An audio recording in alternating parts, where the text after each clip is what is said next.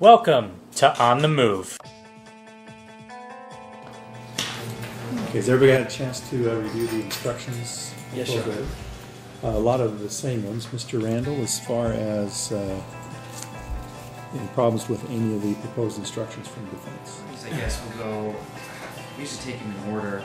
Um, my thought is the mere open carrying of a semi-automatic rifle in public is not illegal. I'd ask that to be removed, um, but I don't know.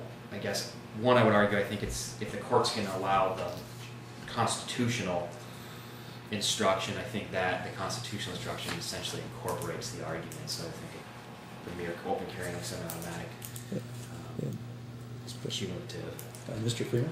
Your Honor, uh, and this, what I'm about to say really does apply to uh, the series of four instructions that are non-limits that I have. Um, Why don't we just talk about them all together? Yeah. Yeah, and al- although I'm not conceding it's all or nothing, um, but I do think that the, the discussion can be had once.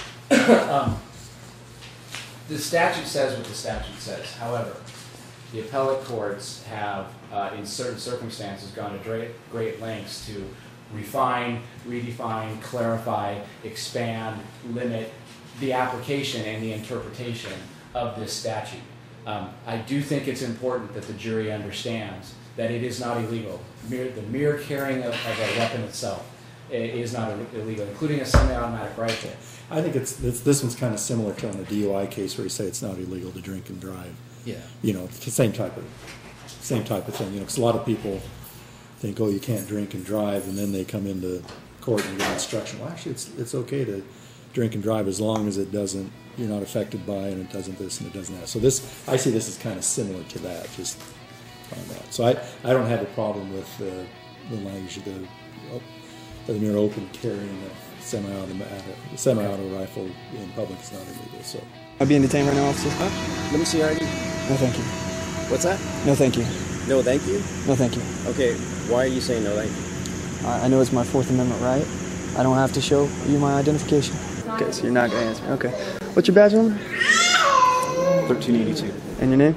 Devlin. Yours? 1375. Name? Trey. You do know that you're required by law to actually give me your name when I Just ask. did. By really comfortable too. That's one thing I really like about this bag is the, the comfort level of it. Um, but anyway, so let me move on here and we'll start showing the back here, show the features. Uh, first thing first here, we got the front of it.